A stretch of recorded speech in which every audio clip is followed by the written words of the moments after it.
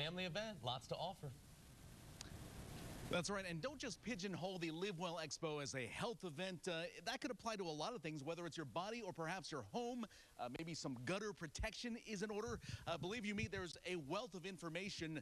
Uh, you can take that to the bank, and that's what we call in the tel television news business a segue. Uh, over here is Vicki Bailey uh, with the Asheville Savings Bank, and Vicki, you've got a lot of stuff happening here to share with the community. Absolutely, John. We're just so thrilled to be sponsoring this event for the third year. And as the local bank, um, we care about our friends and neighbors in Western North Carolina, and we want to help them live well in every way. So over here, for example, we've got a little something for the kids. Walk us uh, over here as uh, yeah, yeah. We, we, have something for the whole family. We have uh, computer games for kids to learn about finances. And our experts will be here tomorrow to talk to folks about financing a home, uh, financing a business, or uh, saving for the future.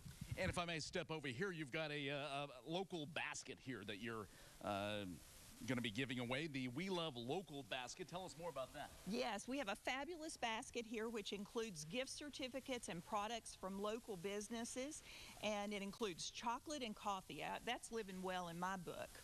That's right, and dare I say, this is one of the most, you know, of all the freebies that'll be uh, given out on Saturday, uh, from what I understand, this is one of the most coveted uh, pieces of pork you will find, plastic pork, if you will. Yes, uh, last year these pigs were very popular, and they're back again this year, so we invite everyone to come by and see us at Live Well.